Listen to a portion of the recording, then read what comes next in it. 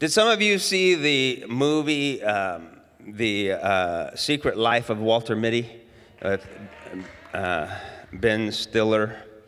That's a, actually a short story that was written by James Thurber, a, a famous author back in the 30s. It was uh, run in a magazine, and um, it was one of his most popular stories.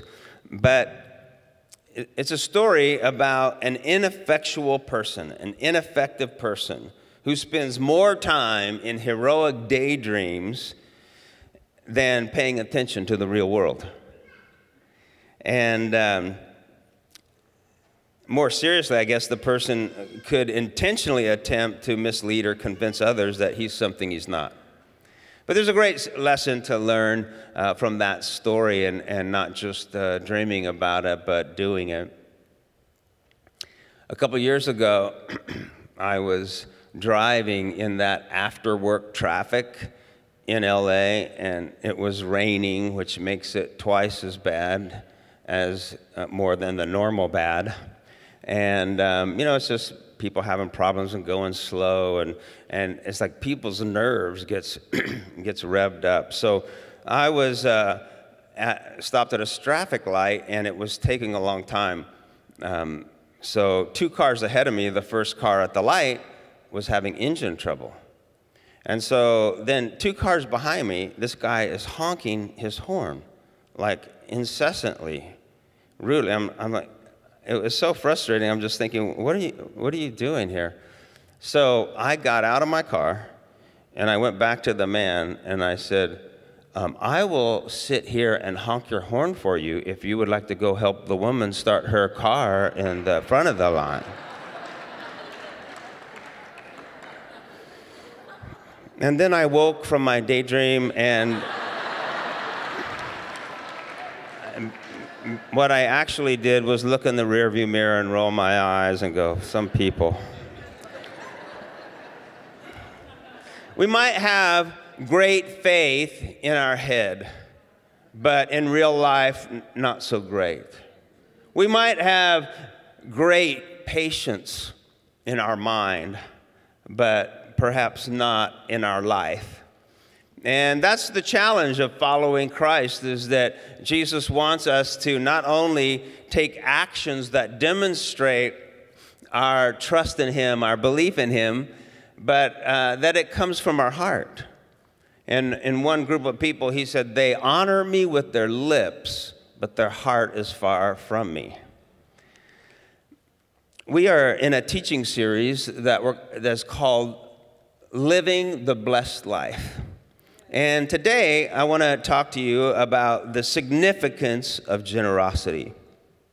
Now, many people don't really believe that generosity is a spiritual quality.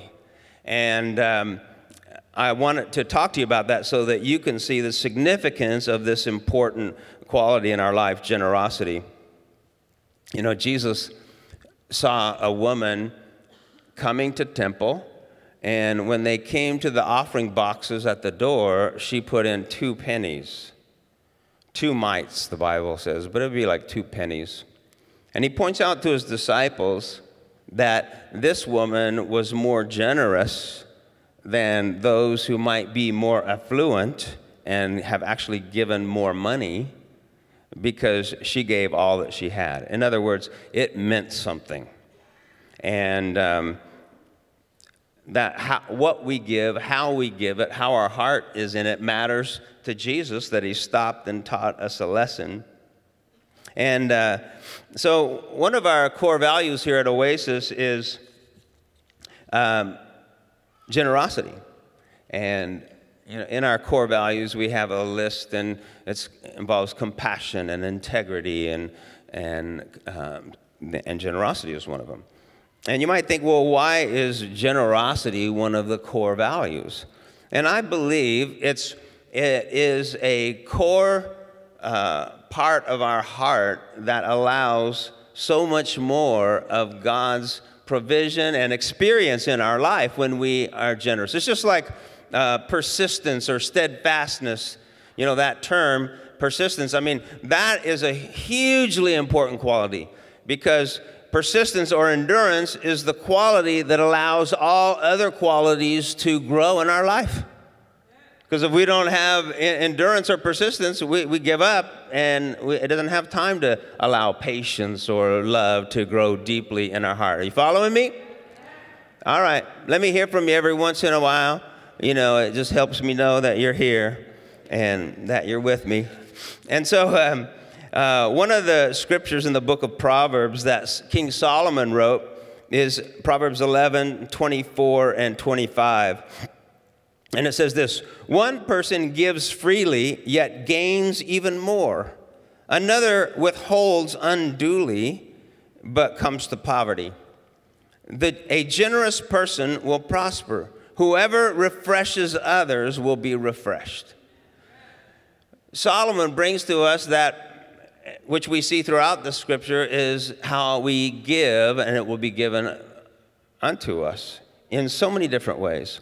And it's not just about giving to get, it's giving because we consider it an honor to give and be part of a solution. That's the heart that God wants us to have. And then He blesses us. But it's not a deal we're trying to make with God. If I give this to you, will you um, provide for me the way I need it? But I like how the message version of the Bible tells us, or reads that same scripture in Proverbs. It says this the world of the generous gets larger and larger. The world of the stingy gets smaller and smaller. The one who blesses others is abundantly blessed. Those who help others are helped. So, today we're going to talk about why generosity is important in our life. We're going to talk about why generosity is important to God. Does anybody want to hear that? Okay, anybody here thinks the person next to you really needs to hear this? Yeah, okay. All right. Why generosity is important to God? Number one, generosity is the core of God's nature. A lot of people uh, throughout the world don't really see God as a generous God. They see him as a vengeful God, a, a legalistic God, a God of criticism and judgment. But the Bible shows us that he is generous. It's not only something he does, it's something that he is. You know, so uh, generosity is the core of God's nature. When Jesus was telling a story that we call the parables in the New Testament, he told a story that is, eh, is one of my favorites because there's so much truth to see in it and, and so many different way, things to gain from it is the story of the prodigal son where uh, a son runs off from his father's uh, land and goes and wastes all of his money and he, he comes back. He realizes man living with my dad is so much better than what i'm doing. I could just work for him and be a servant and do better. And so he comes to, to his father and he comes to say i'm no longer worthy to, worthy to be called your son. And uh, but just let me be a servant so i can get something to eat. And the father sees him coming a long way off and he runs to him and embraces him and he starts his speech. Oh, Father, I'm no longer worthy to be called your son. He's like, he doesn't even respond. Come on, let's throw a party, get, get the royal robe, put sandals on his feet. Because servants didn't wear sandals. And the father wanted to make sure nobody confused him with a servant because he was his son. And he put the ring of authority on him, and he was generous when he, the son didn't deserve it. And that's how God treats us. He's generous when we don't really even deserve it. You know, we are aware of this term godliness. We, we use that a lot. And godliness is, one way to understand it is God likeness so that when we are more and more like God, we treat people with love, we have faith, we have patience, we're, we're getting those qualities. That's godliness. So, godliness is also generosity. Generosity is a, a, an act of godliness. And it requires generous soul to focus on others and not ourselves. Anybody understand that one? It requires generosity to have a great marriage. Yeah, great marriages don't work when he said, Yesterday was your turn, now it's my turn. It's more like, This month was your turn. And let's do it again if you want to. Uh, and uh, it requires generosity to serve, to love. It requires generosity to forgive because we're giving where somebody else is taken. But instead of responding in kind, we take a step higher and we are generous with our forgiveness, generous with our love. And that's the, the spirit of generosity. In James chapter 1, verse 5, James tells us this If any of you lacks wisdom, you should ask God who gives generously to all without finding fault, and it will be given to you.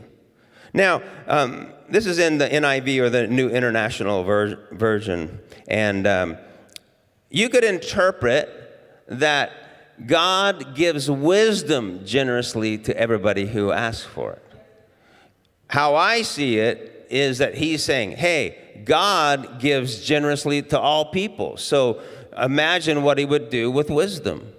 So if you're going to ask for wisdom, or you're going to ask for guidance, or you're going to ask for peace, He gives generously. So don't think you're not going to get wisdom. And some of you might think, well, how come I prayed for wisdom and I've done all those stupid things? It's a mystery. we'll find out in heaven, I guess. Now, look at Titus. Titus is a small little book at the end of the New Testament um, you should turn to this chapter. This, this is a good one to look up right now. Titus chapter 3. And of course, we have them on your screens, but it'd be great to have you look. But Titus chapter 3 and verse, verse 5 says this He saved us not because of the righteous things we have done, but because of His mercy. He washed away our sins, and giving us a new birth and a new life through the Holy Spirit. He generously poured out the Spirit upon us through Jesus Christ our Savior. Because of His grace, He declared us righteous and gave us confidence that we will inherit eternal life. There's another example of generosity. 2 Corinthians 8, verse 9, he says, You know the generous grace of our Lord Jesus Christ. Though he was rich, yet for your sakes he became poor, so that by his poverty you could be made rich. He said, You know the generous grace that He gives to us. Because that's how God is. He can't help it to be, but to be generous. And um, so He has so willing to be generous toward us, he gave up his majestic position in heaven so that he could come and pay the price for failure and sin to ensure that we would have access to God's generosity. Isn't that good? Uh, second, uh, the second reason that we, uh, generosity is important to God is because generosity pleases God because it's a demonstration of His grace. Generosity demonstrates that we recognize that God is our source. Yeah, sure, you might have a business or you might have an employer or you might have an inheritance, but people who who really trust God and know His generosity, we, we know it comes from Him. It might come through an employer, it might come a different way, but it comes from Him. And um, so God is our source. And in Proverbs 22 9, it tells us that the generous will themselves be blessed, for they share their food with the poor. And, and so uh, when you realize that God has provided, and so we want to be a blessing to other. And you help somebody who's poor. You help somebody who's hungry. You give to them eh, because you're generous. And then uh, God says, "Oh, I see this person. I can get something through them." So I will get something to them because it's so hard to find somebody like that. Because too many people look at the homeless guy and he's probably going to use, use it to buy beer well, maybe, but he has to eat, but it's not up to you to figure out what he's going to do with it. Of course, he's going to misuse it. That's why he's in the position he's in. But we're not going to go, you know, hey, you know, show me, you know, some good skills and then I'll bless you. No, you just love people. You just bless them and try to help them. And we find all kinds of reasons not to be generous. And not only, it's not only for others that we're generous, but also for you. It's uh, important that we are generous because we see in Acts chapter 10, there's a story right in, in the beginning where Cornelius a Roman, not a, a Jewish man, but he's praying. And um, it says in Acts chapter 10 one day at about three o'clock in the afternoon, he had a vision. He distinctly saw an angel of God who came to him and said, Cornelius. Cornelius stared at him in fear and said, What is it, Lord? And the angel answered, Your prayers and your gifts to the poor have come up as a memorial offering before God. Do you see that?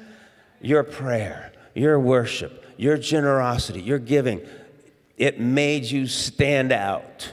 And it came up as a memorial before God. And he said, I can trust that person. I can use that person. And so he, he told, gave him direction. Now send men to Joppa to bring back a man named Simon, who is also called Peter. And what this was, was a message that allows you and I to be followers of Jesus because it was a message only to the Jews at that point, but through this revelation, he said, No, everybody can be saved Gentiles, Californians, Americans, everybody. And so um, this was an important message to get across. And then one more scripture here, uh, 2 Corinthians 9 5 in the New Living Translation. He says, You will be enriched in every way so that you can always be generous. That's good. She's going to be enriched. The rest of you can watch. Okay.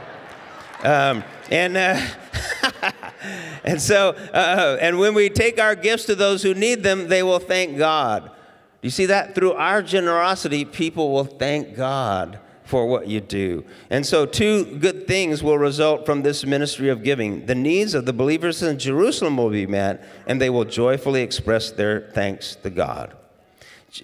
Generosity signifies our complete surrender to God, that we trust Him. As followers of Jesus, really, we give our life to Him. He owns it all. You know, if we've given it to Him, it's His. If He's our provider, if He provided it for us and we didn't have it before He had it, then He gave it to us, it's all His. So we want to be good stewards, uh, of, good managers of what He's given to us. And so, uh, you know, in this teaching that we've uh, been through, we've learned clearly that the Bible teaches that the tithe is a holy thing that belongs to God, and that we give that to Him because it belongs to Him, and then we express our generosity out of offerings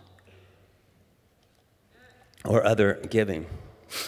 This week, I had lunch with a friend whose name is J.John. He's a pretty well known speaker and author. He lives in England. And so he and his wife and Holly and I had lunch. And he tells a story about a man that we'll call James. I just picked that name out of the air. But James is at the airport and he's waiting to catch his flight. And so he's got a little time and he's gonna, he decided, I wanna get one of those bags of those small donuts and a coffee. And so he buys his donuts and his coffee, and he comes out to the seating area, and it's packed. There's hardly any place to sit. So he finds a spot that's at a table across from another man. So he, he sits down and he puts down his briefcase and he puts down his coat and, and uh, begins, sits down, has some coffee, and then he reaches over and uh, eats one of the small donuts.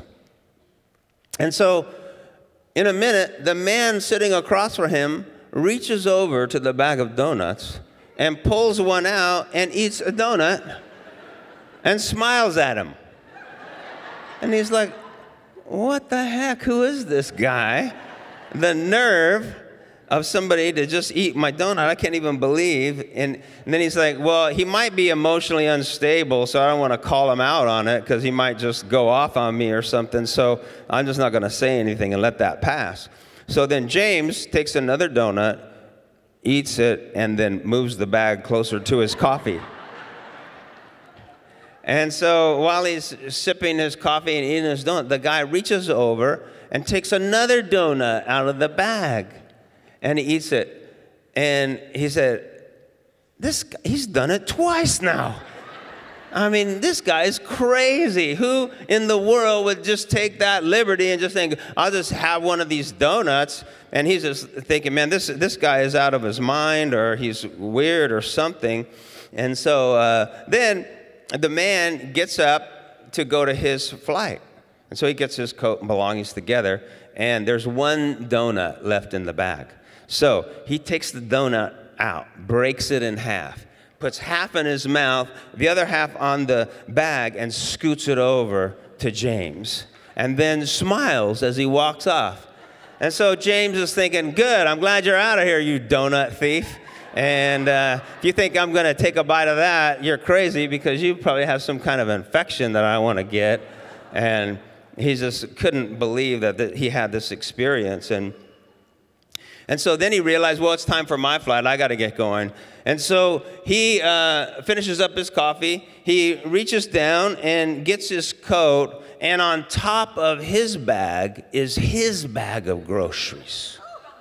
I mean, his bag of donuts. So he thought the man was stealing his donuts, but the man was sharing his donuts.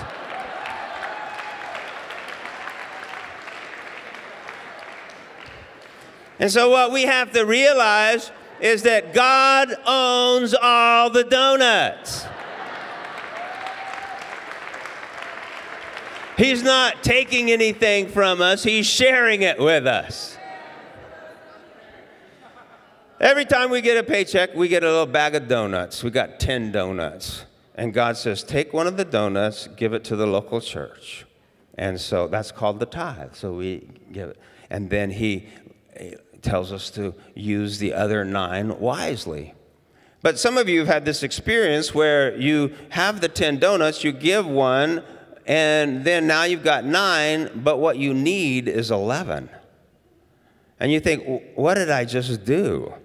I had 10, I just needed one more. Now I gave that away. Now I need two more.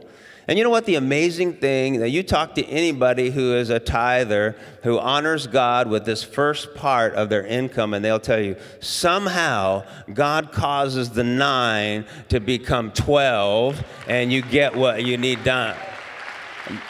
That's the benefit of having God's provision and God's protection in your life. I can't believe I just blew that whole story by saying groceries. Jeez.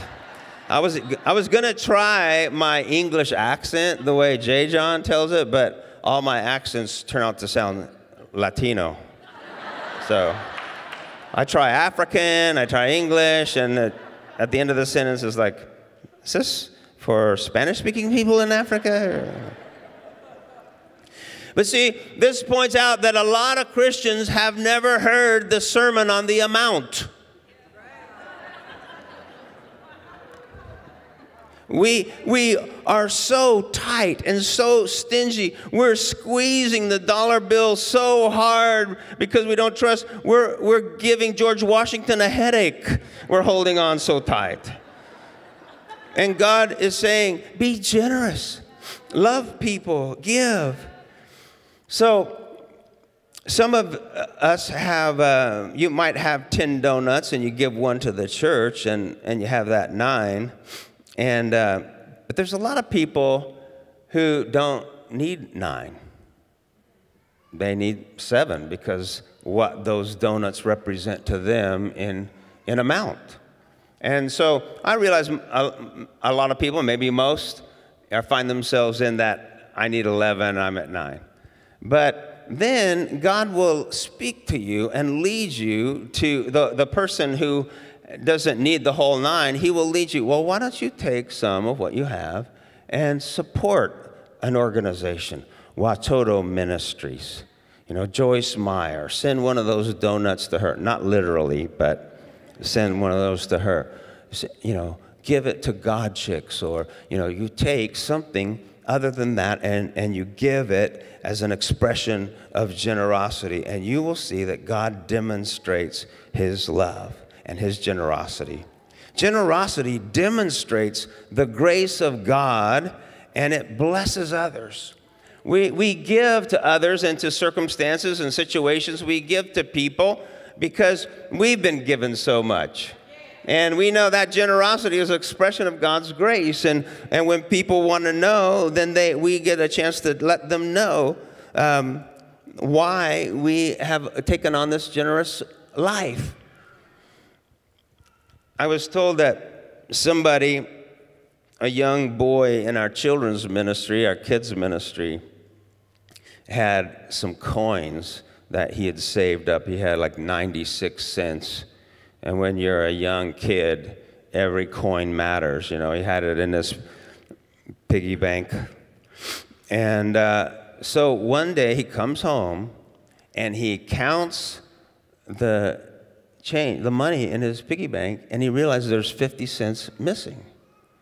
And so he's asking, and he has an older sister, and she admits that she took the 50 cents because she had a book that was overdue at the school library, and uh, she had to pay a fine, and she didn't want the mom to know. And so he, she said, I'm sorry, I, I took it. And he goes, That's okay, I forgive you. And she, she said, You forgive me? I thought you were going to be angry and mad. Why, why do you forgive me? He goes, You know, the grace of God. And here, why don't you have, and he gave her one of his special toys to her. And I thought, out of a child, here's somebody who gets it already. That God can take care of me. I don't need to worry about every little thing. 2 Corinthians 9 11 says, You'll be enriched in every way so that you can be generous on every occasion. You will be enriched in every way so that you can be generous on every occasion. And through us, your generosity will result in thanksgiving to God. When Jesus got a hold of a man named Zacchaeus in the New Testament, he was a man who made his living stealing from people. He was a tax collector, and they had the ability to add a, an additional amount on their real taxes, and they kept it for themselves. Everybody knew it, and uh, there's nothing they could do about it. But Jesus went to his house and talked to him and had an impact on him that changed him, changed his heart. And then he responds uh, to Jesus, You know what? If I've taken anything from anybody, I'm going to give, uh, give it back, plus uh, additional money. I'm going to restore, you know, multiplied amounts of money to people that I've taken. Somehow he went from a taker to a giver, which what happens to us when we really allow the reality of God, his grace, his generosity to capture our soul.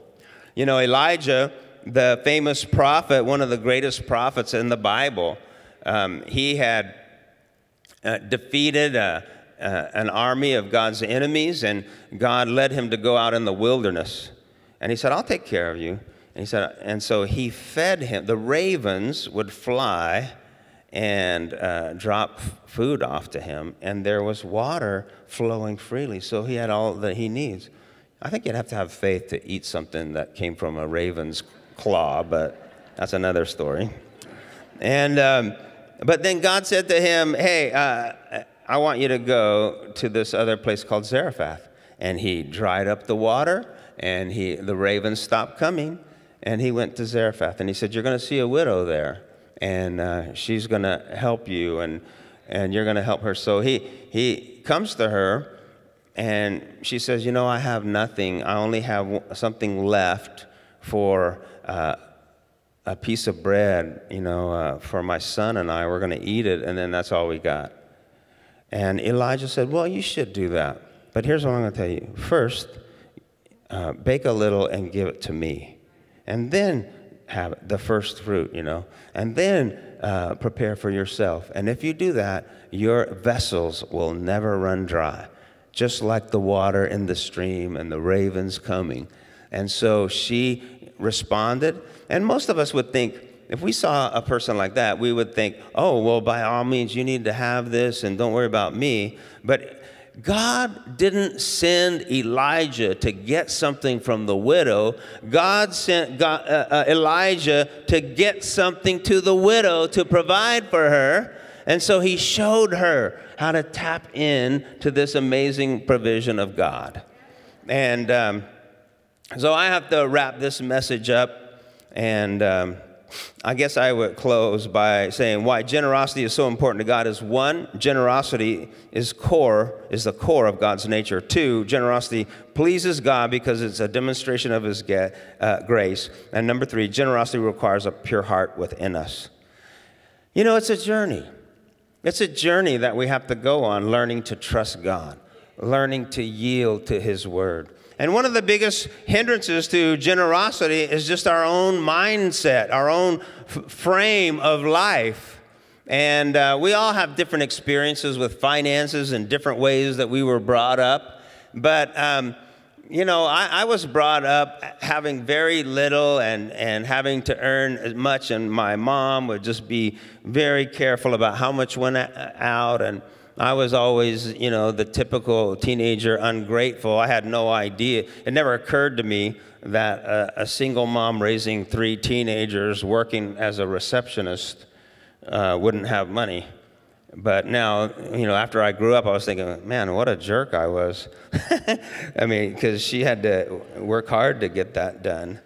And, um, but, you know, our life was like, uh, I, I was telling people the other day that we put coffee in a little um, single cone and we pour hot water through it, and that's how we make our coffee. But the other day, I spilt some of the coffee grinds, and I'm like brushing it off into my hand because I don't want to lose my coffee grounds, you know, because it was like at least like a spoonful or two, and I'm scraping it off, and I'm just thinking, what am I doing?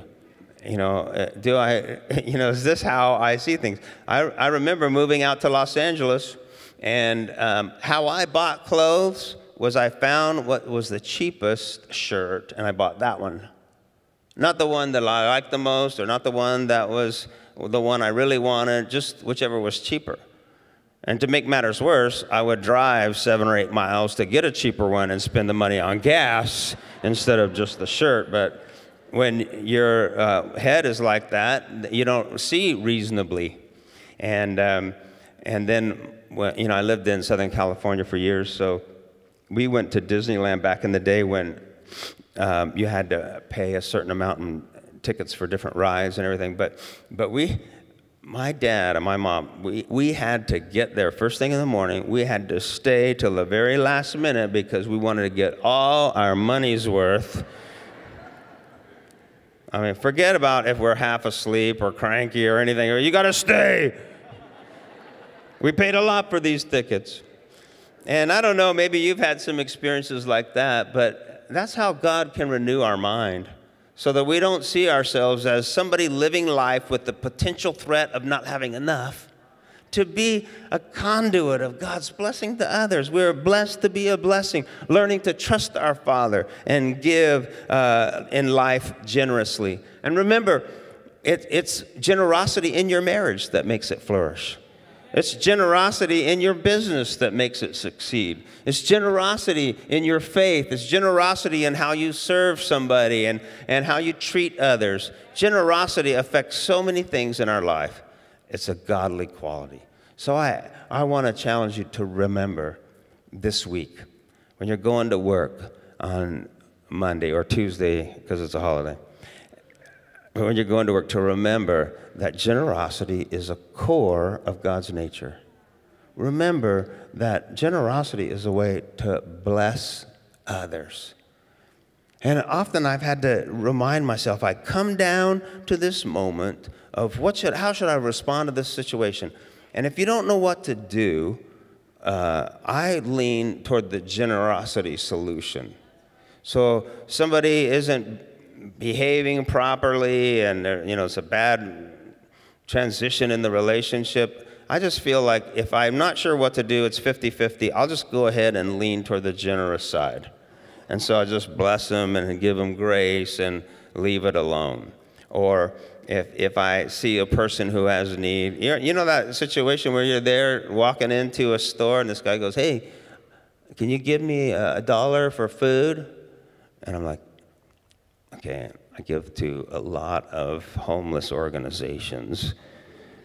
And, we'll, and I'm looking to see if I, and I'm smelling to see if I smell alcohol. And it's like, all right, it's, it's awkward, but you know what? I'm just going to lean toward generosity. Just give them something to eat.